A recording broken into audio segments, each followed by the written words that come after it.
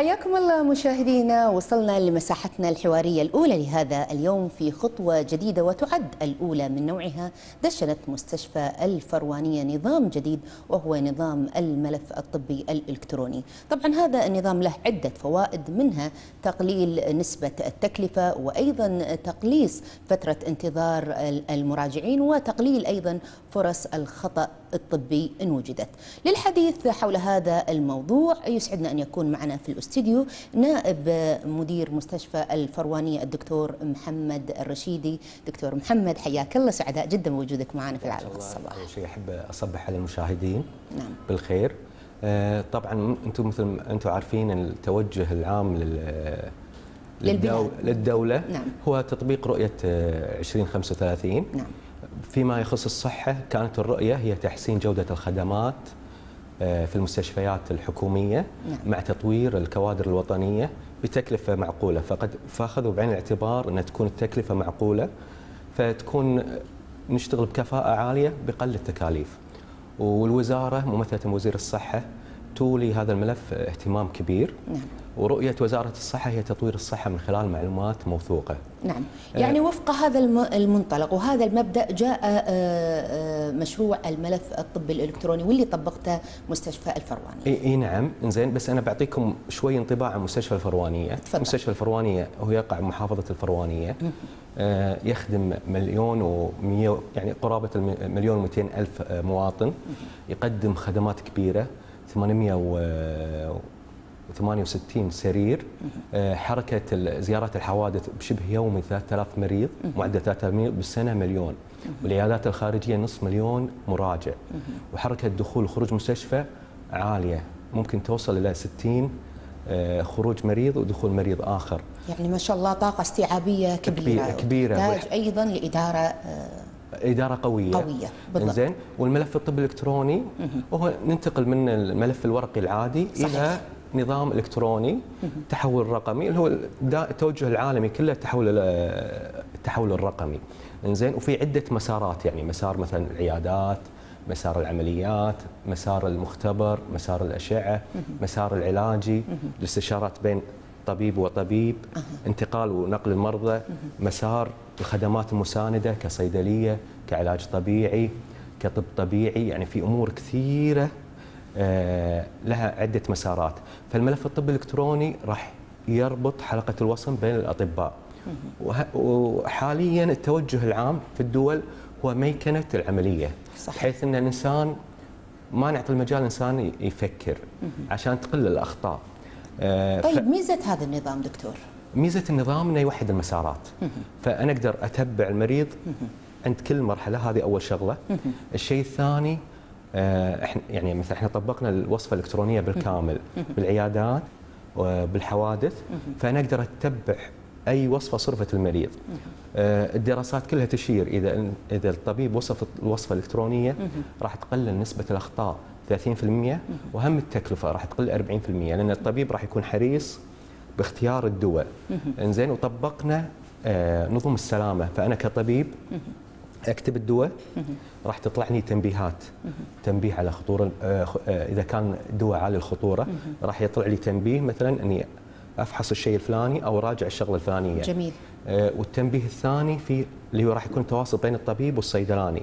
ممكن ان أصرف دواء وهو غير متوفر بالجرعة اللي أنا حاسبها فراح يعطي دواء مشابه بس بجرعة ثانية فيكون فيه تواصل بيني وبين الصيدلاني. جميل. هذا إذا تكلمنا عن داخل نطاق المستشفى اللي راح يعود بالفائدة بين ال- الم- ال- الدكاترة بنفسهم أيضا آه، الدكاترة وال- والمراجعين. طيب ماذا عن نظام الربط بين المستشفى والمستشفيات الأخرى؟ تعلم أن المستشفى لا تعمل في معزل. لا واكيد توجه الوزارة هي تربط بين المستشفيات بس أنا أتكلم الحين حاليا عن تجربتنا. الأمانة أن إدارة نظم معلومات ساعدتنا كثير. الحين إحنا قدرنا نربط بشهر 3 2017 بيننا وبين المراكز فصار في تبادل مع- معلومة. مثلا أي مراجع راجع المستوصف راح ت... إذا راجعني راجع العيادة وراجع الطبيعي راح تطلع لي جميع البيانات. نعم. إذا راجع الحوادث الامانه شيء مهم جدا ان تكون عندي معلومات كافية. يعني الدراسة إحنا سوينا استطلاع قليل من المعلومات توصل عقب ما ربطنا وصلتنا معلومات أكثر. صحيح. وأي معلومة تعتبر قوة. صحيح. في مصلحة المريض. لأن هدف آه، لجنة الحاسب الح- الملف الإلكتروني مستشفى الفروانيه كان هدفها واضح. يعني رؤيتنا كانت هي إيصال معلومة طبية شاملة على نحو السرعة للطاقم الطبي لتسنى لهم اتخاذ القرار المناسب للمريض الصحيح في الوقت المناسب. فكان هذا هدفنا. فوحدنا الأمر هذا آه، أنا لو بقول لك عن ملف الطب الإلكتروني يمكن ما راح تسعفنا ال- الحلقة المداخ- واحدة. الحلقة طيب. للامانه يعني شو أقول لك؟ الحين كل ال- الطب هو بناء آه، بناء الخدمات مبنية على المعلومات. معلومات صحيح صحيح. إنزين فأنا ابى أفتح عيادة. شلون بعرف حجم الداتا اللي عندي؟ كم مريض محتاج هالخدمة. فعشان أوفر فلوس وهم أوجهها حق الناس الصح. في خدمات إحنا فتحناها مثلا في عي- عيادات نهارية. أخذنا دراسة مثلا في مرضى يجوا لنا يأخذون جرعات معينة. فقدرنا نوفر لهم مكان عن طريق النظام إنهم يأخذون جرعاتهم.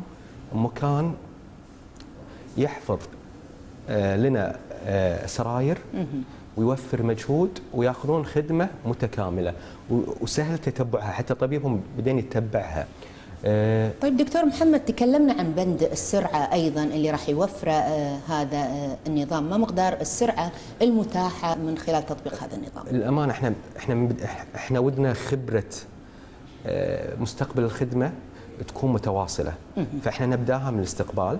إحنا استعرضنا عن القارئ جبنا قارئات ال- البطاقة الذكية بالتعاون مع الهيئة العامة للمعلومات المدنية. نعم. فمجرد يجي المريض تكون على بطاقته المدنية يدخلها بالجهاز قارئ البطاقة راح تطلع كل بياناته. ما في أخطاء بشرية إدخال الرقم. إنزين راح بسرعة عالية. صحيح. إنزين راح ينتقل آه، للطبيب. وراح يكون في فرز للحالة على حسب حالتها. إنزين إذا كنا بالحوادث إذا آه، حالة حتى ح- يعني آه، مدى يعني الحالة هم أيضا آه، تم تصنيفها؟ إي نعم. الحين حتى أنا مثلا كطبيب بسلم التحاليل. الحال بسلم الحالة حق زميلي. يعني مثلا خلاص أنتهى دوامي. في في آه، نظام ألوان. مثلا تلقين حتى على الحالة أحمر. راح الطبيب يعرف إن هذه الحالة أولوية. الحالة اللي وراها مو أولوية. زين تكون أولويتها أقل. أقل. إي نعم. زين وهم مراجعة الأدوية. يعني حتى الحين يجي المريض كل ما يراجع الطبيب راح يراجع جميع أدويته. لأن انت أنت عارفة مثلا المريض ممكن يراجع المستوصف راجع طبيب خاص ياخذ أدوية آه، أعشاب. ممكن تأثر على حياته. نعم. إنزين فالطبيب يقعد يراجعهم.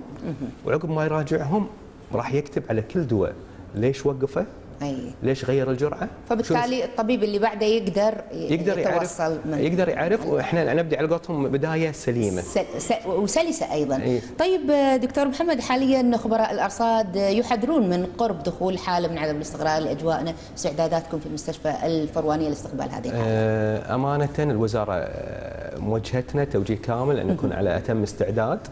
آه، نظرا لحالة الأمطار الغزيرة آه، في الأسبوع الفائت الأمانة كان هناك تع- تعاون منقطع النظير بين وزارة الدفاع الحرس الوطني المطافي الداخلية الأشغال وإدارة الشؤون الهندسية. نعم. متابعة حديثة من حديثة جدا. آه، وإحنا حتى الحين أنا بعد ما نخلص القرار راح نكون نجتمع عشان نحط خطتنا حق الثلاث أيام الجاية. إنزين والحمد لله موجة المطر ال- اللي كانت يوم الأربعاء. آه، مستشفى الفروانيه كان الحمد لله على- شغال بكامل كفاءته. وحتى النظام الإلكتروني ساعدنا للأمانة. عساكم على القوة آه، ومن تطوير إن شاء الله إلى تطوير كل الشكر لوجودك معنا دكتور محمد مشكورة. الرشيدي. شكرا شكرا.